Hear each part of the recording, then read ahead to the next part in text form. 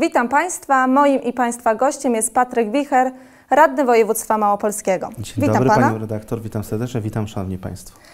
Już niedługo rok od wyborów samorządowych, w których uzyskał Pan mandat do Sejmiku Małopolskiego. Czym może się Pan pochwalić? Co udało się zrobić e, w tym czasie dla naszego regionu? Szanowni Państwo, e, w Sejmiku Województwa Małopolskiego bardzo duży nacisk Pan Marszałek, ale także wszyscy radni e, położyli na m, tak granty miękkie, granty inwestycyjne. Mm, Choćby na przykład wsparcie mm, architektury drewnianej na terenie naszego okręgu, e, który tutaj mam zaszczyt zareprezentować, czy też pięknej ziemi gorlickiej. E, Tutaj na przykładzie m, dwa lata temu, czy też rok temu wydawano na ten cel około 2 milionów złotych. My zdecydowaliśmy się, Pan Marszałek powiększył tą kwotę do 5 milionów złotych. A więc to są gigantyczne wsparcia, choćby na przykład na przepięknych kościółków na terenie, czy to ziemi gorlickiej, czyli Manowskiej, czy Sądeczyzny.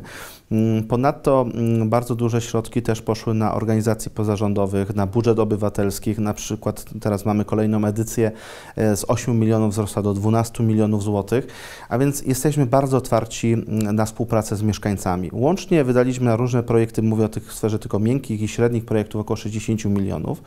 E, Ponadto, moi drodzy Państwo, jest bardzo duże wsparcie dla instytucji, które związane są z bezpieczeństwem. E, Z 400 tysięcy złotych do miliona złotych zwiększyło się mm, wsparcie dla WOPR-u, GOPR-u. E, Przekazaliśmy też wsparcie na Straży Granicznej, e, żeby zwiększyć poziom bezpieczeństwa. Mm, Ostatnio pół miliona złotych przekazaliśmy choćby na przykład Małopolskiej Policji na zakup e, sprzętu wymaganego do polepszenia komunikacji dzielnicowych z mieszkańcami. A więc tych projektów udało się bardzo dużo zrealizować. Na przykład też przyciągnęliśmy do naszego regionu, za niedługo będzie już zlokalizowane biuro Małopolskiej Agencji Rozwoju Regionalnego. A więc także są wiele projektów, które są rozpoczęte. W przyszłym roku, jak wszystko dobrze pójdzie, e, zostanie mój autorski program wdrożony i też pana marszałka e, Witolda Kozłowskiego Małopolska Karetka, gdzie planujemy mm, zabezpieczyć właśnie zakupy karetek. Jedna karetka dla każdego subregionu w Małopolsce, e, przydzielana w odpowiednim konkursie, procedurze konkursowej, czy to dla pogotowia, czy też dla szpitali. Będzie to znaczne wsparcie dla tych instytucji, kiedy będą mogły dysponować karetkami, które są warte po pół miliona, po pół miliona złotych. A więc, Szanowni Państwo, dużo się dzieje, dużo się robi, dużo też jest zaplanowanych rzeczy. Na przykład niedawno Pan Marszałek Łukasz Smułka był tu u Państwa, nie zostały ogłoszone dwie rzeczy, na przykład budowa ronda, e, ale także na przykład przekazanie 14 milionów złotych na scalenie gruntów.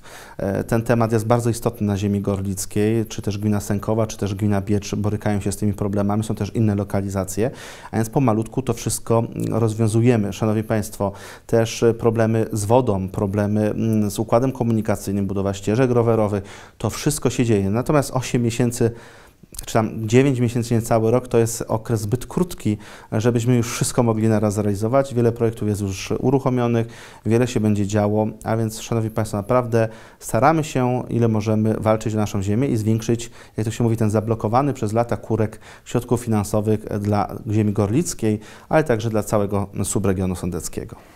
Jest Pan radnym województwa małopolskiego, ale wiem, że będzie się Pan ubiegał o mandat posła w nadchodzących wyborach. Czy znudziło się Panu być radnym wojewódzkim? Znudziło mi się, nie znudzi, na pewno nie znudziło, bo pracą jest to pasjonująca praca. Ja przez 8 lat byłem radnym miasta Nowego Sącza, gdzie pełniłem różne funkcje. Teraz jako radny sejmikowy to trochę trzeba się, nie wiem czy pochwalić, czy też poinformować Państwa, że w sumie mam taką przyjemność być rekordzistą sejmiku, bo jestem pierwszym radnym historii, który pracuje w siedmiu komisjach merytorycznych e, w sejmiku, plus jeszcze jestem członkiem zarządu, społecznym członkiem zarządu Małopolskiej Organizacji Turystycznej. No i też na przykład od kilku dni jestem też członkiem Małopolskiej Rady Pożytku Publicznego, która wspiera organizacje pozarządowe. A więc ciężka praca w sejmiku przekłada się na efekty, wymaga dużego skupienia, którą mi daje bardzo dużą satysfakcję praca dla mieszkańców naszego regionu. Natomiast ja też od 15 lat funkcjonuję mm, w Prawie i Sprawiedliwości, w ugrupowaniu, z którym się w pełni identyfikuję, który program w pełni popieram. A a więc e, te 15 lat pokazuje, że od młodego chłopaka, który mm, był pomocą, asystentem poselskim, poprzez mm, szefa Forum Młodych, poprzez e, członka zarządu struktur, poprzez radnego miasta, teraz sejmikowego, człowiek e, tak jakby trochę się rozwija, nabywa tej wiedzy, żeby pomagać drugiemu człowiekowi, czy jest dobrze państwa reprezentować. I zapadła taka decyzja, no, dostałem, e, zostałem zaproszony na rozmowę, gdzie usłyszałem, że byłbym dobrym kandydatem na posła, I jest taka prośba, żebym w tych wyborach wystartował. E, I to jest prośba mojej partii. Natomiast jeśli się działa w jakimś środowisku i jest się lojalnym temu środowisku i identyfikuje się z jego programem, to ten program się walczy. Dlatego też e, powiedziałem tak, dobrze, ja jestem na to gotów, jestem gotów e, stanąć do tych wyborów, żeby dalej reprezentować mieszkańców naszego subregionu. Dalej te projekty, które rozpocząłem jako radny sejmikowy, przenieść na wyższy poziom, na wyższy level, czy to też praca w komisjach, jeśli Państwo oczywiście mi zaufacie, bo to jest jeszcze daleka droga ku temu. Mamy na listach wspaniałych kandydatów, moich kolegów, przyjaciół, koleżanki, których każdego Państwu rekomenduję, bo też mamy wspaniałego kandydata na senatora, panią Martę Mordaską, a więc Szanowni Państwo, naprawdę macie w kim wybierać.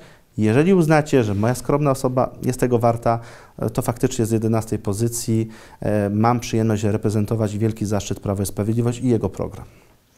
Jest Pan na 11 miejscu na liście Prawa i Sprawiedliwości. Nie uważa Pan, że ma Pan małe szanse? E, nie, szanowni Czy lubi państwo. Pan jakieś wyzwania? Bardzo lubię wyzwania. Były możliwości, żeby być trochę wyżej na liście. Pewne też prośby się pojawiły. Jestem na 11 miejscu. Jest to miejsce bardzo dobre. E, generalnie rzecz ujmując, ja się już nauczyłem, bo do Sejmiku Województwa Małopolskiego E, nie wiem, czy Państwo pamiętacie, startowałem z piątego miejsca na osiem, czyli z takiego miejsca samego środka. Wszyscy też mówili, a przecież to daleko, nie ma szans, wejdą pierwsze tylko cztery osoby. Natomiast e, udało mi się zdobyć e, trzeci wynik na liście. Do drugiego miejsca brakło mi raptem tysiąc głosów. Zdobyłem wtedy dzięki Państwu i Państwa głosu około 17 tysięcy głosów, co jest rekordem z tej pozycji. Ja tego uważam, od tej pory się tak nauczyłem, że trzeba być pokornym w tym, co się robi. Są zacniejsze osoby, osoby, które są posłami, e, kolegami, którzy mają lepszy staż, nie byłoby fair, żeby młodszy kolega e, ich wyprzedzał na liście. Ja znam swoje miejsce w szeregu, e, natomiast wiem, że ciężką pracą i dużym zaangażowaniem w życiu i też rozmową z państwem i tym, co zrobiłem dotychczas, mam nadzieję, tym, że zawsze byłem pod telefonem, zawsze przyjeżdżałem na każde spotkanie, na każdą prośbę reagowałem na tyle, na ile potrafiłem, że to gdzieś się kiedyś zwraca. Zawsze wierzę w to, że dobro dane gdzieś kiedyś w przyszłości się wróci i 11 miejsce jest bardzo dobre. Też Państwu przy, chciałbym tylko przypomnieć, że lista Prawa i Sprawiedliwości ostatnio uzyskało 8 mandatów, e, czyli na 20 kandydatów 8 e, zostało posłami. E, teraz, jeśli Państwo tak zdecydujecie, jeśli będzie dobra koniunktura, jak to się mówi, a Państwo akceptujecie nasz program, jeśli uznacie, że jest godny, możemy nawet liczyć na 8 bądź 9 mandatów. W tym kontekście walka z każdego miejsca na liście jest w pełni realna i każdy tak naprawdę, jak ja się to śmieję, nosi gdzieś w plecaku buławę marszałkowską, tylko nie wie, kiedy ją wyciągnąć. A więc e, to wszystko oczywiście w formie żartu, natomiast zobaczymy, co, co przyniesie los, jak Państwo zadecydujecie. Czy mój program po prostu, który będę do Państwa kierował, będzie na tyle interesujący, że Państwo zawierzycie mi e, w tym głosowaniu. Ja wiem jedno, rodzina, praca w organizacjach pozarządowych, praca zawodowa, jestem też dyrektorem placówki medycznej, to jest to, co też kocham, co lubię. Wywodzę się w ogóle ze świata organizacji pozarządowych i wiem, że tylko tak naprawdę życie poświęcone dla drugiego człowieka warte jest przeżycia, warte jest zaangażowania, bo tak naprawdę gdybyśmy nie mieli przyjaciół, gdybyśmy nie mieli rodziny, co byłoby warte nasze życie? A więc, Szanowni Państwo, jeśli uznacie, zapraszam do urn, zapraszam do głosowania na Prawo i Sprawiedliwość oczywiście, a jeśli Państwo uznacie to gdzieś na, e, na lidera drugiej części listy, bo ja jestem na miejscu 11, a to jest pierwsze miejsce w drugiej dziesiątce, a więc jestem liderem drugiej części listy, jak ja się to też e, humorystycznie do tego podchodzę, czyli na pozycji numer 11. E, zakładając już, że uda się Panu osiągnąć cel i zdobędzie Pan mandat, kto za Pana wejdzie do Sejmiku? I tu jest ciekawostka, moi drodzy Państwo, e, bo następną osobą w kolejce jest pan marszałek Witold Kozłowski, e, a więc marszałek województwa małopolskiego, a więc to byłaby wspaniała wiadomość, gdyby no, z jednej strony ja bym, czy koleżanka została senatorem, czy ja posłem, pan marszałek e, zostałby wtedy, otrzymałby wtedy mandat radnego mm, e, województwa małopolskiego, a więc myślę, że tutaj, jak Państwo widzicie, e, godna osoba jest następna. Co chciałby Pan osiągnąć będąc posłem? Chciałbym kontynuować swoją pracę, szczególnie swoją pracę w zakresie wspierania rodzin i, i osób starszych i też rozwoju rehabilitacji, też profilaktyki zdrowotnej, zarówno już od tych młodszych lat, a szczególnie też osób e, w podeszłym wieku. Na pewno też chciałbym wspierać organizacje pozarządowe, to są mi bardzo bliskie, ale moi drodzy Państwo, mamy duży problem i takim największym naszym wymiarem i wyzwaniem w najbliższych latach będzie ochrona środowiska, ekologia, czyli brak wody, czyli susza, czyli generalnie generalnie czystość rzek, czystość powietrza, e, wspieranie rozwoju też zalesienia terenów, ale racjonalnego zalesienia i zabezpieczenia środowiska, żeby to też jakoś pogodzić z rozbudową osiedli, czy też firm i innych instytucji. Czy też, moi drodzy Państwo, wielki problem ze śmieciami, za niedługo będą potężne podwyżki cen wywozu śmieci z państwa gospodarstw. Nad tym też musimy się pochylić. E, A więc nasi poprzednicy zostawili kilka takich em, niemiłych niespodzianek, które po latach przynoszą swoje efekty. To wiąże się z różnymi podpisanymi wcześniej międzynarodowymi porozumieniami, a więc musimy to też e, na to baczyć i zobaczyć, co się da z tym zrobić. Ale także, moi drodzy Państwo, dla mnie mm, ważnymi elementami jest służba zdrowia, to o czym też wspomniałem, i jej rozwój, e, bo pracuję w tym i znam się na tej dziedzinie, a więc czuję się tutaj mocno. A więc, moi drodzy Państwo, no i oczywiście rolnictwo. No, rolnictwo, które potrzebuje silnego wsparcia. Coraz częściej są klęski żywiołowe, coraz częściej rolnicy potrzebują pomocy i teraz pora na wypracowanie pewnych mechanizmów, które będą na stałe wspierały w takich sytuacjach kryzysowych te osoby.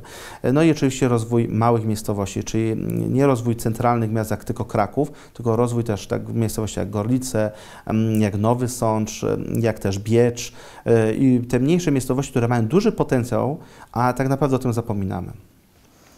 Jak pan ocenia to, co się dzieje w Polsce? Ataki na wartości chrześcijańskie, wiele szumu wobec ideologii gender. Czy można powiedzieć, że zdajemy test z wiary i przestrzegania wartości? Szanowni Państwo, ja wywodzę się z ro rodziny katolickiej, mocno związanej z Kościołem e, od pokoleń. Też jest, wywodzę się ze świata różnych organizacji przykościelnych typu Papieskie Dzieło Misyjne Dzieci, Duszpasterstwa Akademickie e, i jestem związany silnie ze swoją wspólnotą, ze swoją parafią. Ja powtarzam naukę Kościoła. Każdy człowiek jest najcenniejszą i najważniejszą wartością, jego życie, jego funkcjonowanie. Każdy człowiek ma mieć szacunek z drugiej strony drugiego człowieka do jego życia, do jego poglądów. Ale czy my mamy się ze wszystkim zgadzać? Nie. To mamy prawo też do swojej opinii, mamy prawo też do komentowania. To jest też nasze przyrodzone prawo, prawo na jedno z elementów e, demokratycznego kraju. A więc, moi drodzy Państwo, każdy ma być szanowany ze względu na to, jakie ma poglądy. Natomiast ja w pełni popieram słowa Jego Ekscelencji księdza biskupa Marka Jędraszewskiego, z którym się identyfikuję w pełni, a więc Jego Ekscelencja mm, utrafiła sedno, tak? Każdy człowiek jest centrum, najważniejszym elementem, natomiast ideologia nie. Dziękuję panu za rozmowę, a państwu za uwagę. Do widzenia. Również dziękuję, do widzenia.